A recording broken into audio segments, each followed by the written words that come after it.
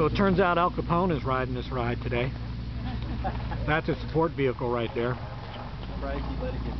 Yeah. Boy, listen to that. Probably got some power in there. Is that cool or what? This is why I bring the camera. You just never know what you're going to see. Very cool.